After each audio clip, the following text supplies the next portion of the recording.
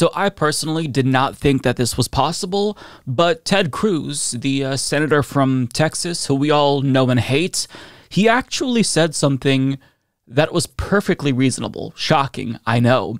And of course, since he said something that was agreeable to most reasonable human beings, it caused outrage among his Republican followers. And honestly, let's be clear to even call his statement, his tweets, reasonable or even compassionate, it really just feels like we're giving him too much credit because this is the bare minimum. Like it is the bare minimum expectation for basic human decency. But having said that, though, the bar is very low, so I do feel inclined to give him credit. So, what exactly am I talking about?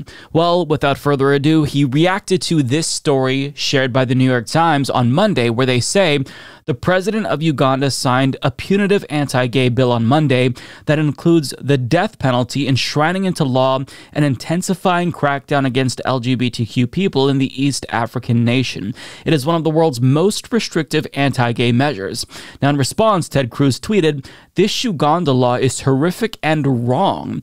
Any law criminalizing homosexuality or imposing the death penalty for aggravated homosexuality is grotesque and an abomination. All civilized nations should join together in condemning this human rights abuse. Hashtag LGBTQ. Now, I get it. The bar is very, very low here, right? He just simply said we shouldn't kill gay people or imprison them for life if they happen to be gay. It feels like he shouldn't get credit for this, but I'm going to give him credit for this given the climate in US politics currently. Uh, because him saying that, believe it or not, is not something that his own supporters agree with. In fact, there were hundreds, if not thousands, of responses to him where they unequivocally condemned him for denouncing this vehemently homophobic law. Here's a couple of examples here. LMAO, what are you conserving? Uganda is based. I want sodomy laws back. Homosexuality is a sign of civilizational decline, grotesque abomination. Nah, the Uganda law is based and should be worldwide. Make homosexuality shameful again. You just lost my support. Ted Cruz is pro butt sex. That's disgusting and anti life. Why do you hate life, Ted? Gay is not okay. Uganda follows Christian values more closely than Texas. You should be ashamed. Uganda is based. It's actually pretty epic and will protect his country from the plague in which we suffer in America. Imagine how beautiful our country would be. Ted, I'm very disappointed in your take here. Homosexuality is sinful and unnatural. Maybe they saw how it unfolded here in the US. First, the gays wanted to get married, and now they want to touch your kids. Seems pretty logical to me if you're Uganda. Right now, we made a societal mistake when we normalized deviancy. You would have hated God's law, Ted. Glad you're here now to fix all that God got wrong.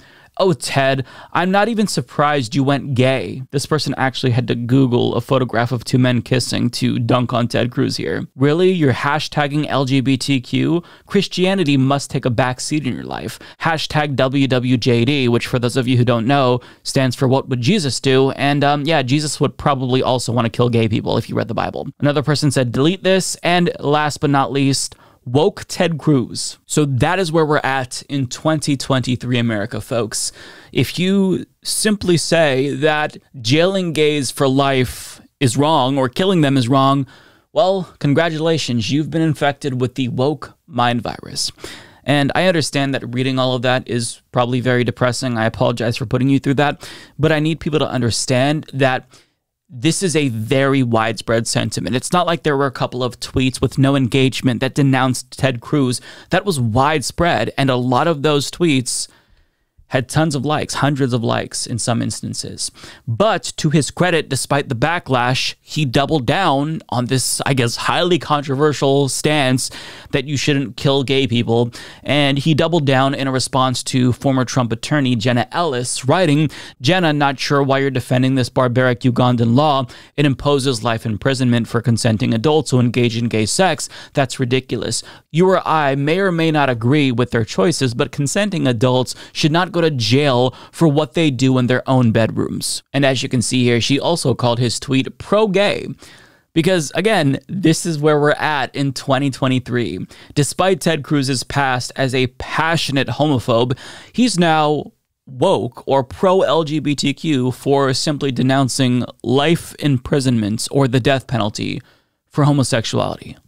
it's just astonishing that we've come this far or we've, we've fallen so much just within the span of a year particularly a couple of months. It's it's really depressing. But I do have some good news at the end of this video, so stick around for that if this is kind of getting you down.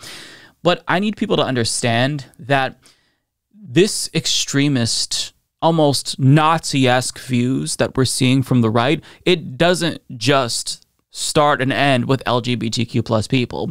For example, far right influencer Ian Miles Cheong got ratioed into oblivion for simply responding to an anti Semitic tweet by saying Jews aren't the problem. And his followers roasted him, and some of them even shared pro Hitler images because, I mean, of course. But it doesn't even stop there because, in response to a video of Biden saying that he's taking unprecedented action to fight hate and anti Semitism, Lauren Boebert responded by saying, When they say stuff like this, they mean they want to go after conservatives. I mean, way to tell on yourself, Bobo. what a fucking moron. But I want to stress that we're no longer just seeing typical right wing bigotry. None of this is standard bigotry. Bigotry involves somebody not wanting a marginalized group to have civil rights. This rhetoric that we're seeing is extremist and genocidal, and you don't have to speculate where it would take us if we followed this ideology to its logical conclusion because they've already told us they want what Uganda has in America. And Uganda's bill is so bad that, again, it is viewed as one of the, the most homophobic laws in the world. But ironically, Uganda didn't necessarily come up with this by themselves. This homophobic wave that we're seeing in Uganda and other countries is the result of U.S. meddling. But first, let's get to the law itself. So, as LGBTQ Nation explains, while homosexual sex was already punishable by life imprisonment in Uganda under the country's colonial era penal code, the new law imposes a life sentence for recruitment, promotion, and funding of same sex activities, and even bans identifying as LGBTQ. It makes what the law describes as acts of aggravated homosexuality punishable by the death penalty. As Politico notes, the law defines aggravated homosexuality as same sex relations involving HIV positive people, children, or other vulnerable people. Now, many of the fascists in Ted Cruz's replies used the law's definition of aggravated homosexuality to basically defend the law, saying that this doesn't apply to all gays, it only applies to HIV positive people and pedophiles specifically. The problem, however, is that this law is framed so as to conflate homosexuality with pedophilia. And it also suggests that gays are plague ridden deviants who are knowingly spreading diseases. But I mean, what if two HIV positive gay people engaged in intercourse? Will they get life imprisonment or because of this law, the death penalty. I mean, what if somebody simply accuses a gay person of being a pedophile? What's the standard for evidence? Furthermore, is this going to be a Trojan horse for an expansion? Because their first law, which criminalized homosexuality, was expanded here. So, what's going to stop them from conflating a man acting too effeminate around a child as pedophilia? I mean, it is a very slippery slope here. And we're already seeing a surge of homophobic harassment as a result of these laws. But it's not just queer people who are being harassed, it's anyone who is perceived to be LGBTQ. So this will affect straight and cis people as well. That's what they don't realize. But I mean, when you have this culture that is deeply homophobic, you can't just create these exceptions and not expect innocent people to get caught up because they will get swept up in this. But even though politicians like Ted Cruz are against these laws, it should still worry us that there are so many right wingers who publicly support laws that are this homophobic. But we shouldn't really be shocked by this because homophobia is something that American evangelicals exported to Uganda and other countries as well, to be clear. And they basically used these countries as testing grounds for their highly conservative social policies. And the goal ultimately is to export those policies back to the United States after seeing that they're successful in these countries where they're testing them out in. MSNBC columnist Nayyera Haq explains American evangelical missionaries arrived in Uganda in the 1980s. They built medical clinics and schools as part of a strategic effort to prompt a religious revival in the developing world. The 1980s also marked the start of the AIDS epidemic that, at its peak, ended up infecting 30% of pregnant women in Uganda and 20% of adults across the continent. That epidemic also orphaned 34 million children across the continent.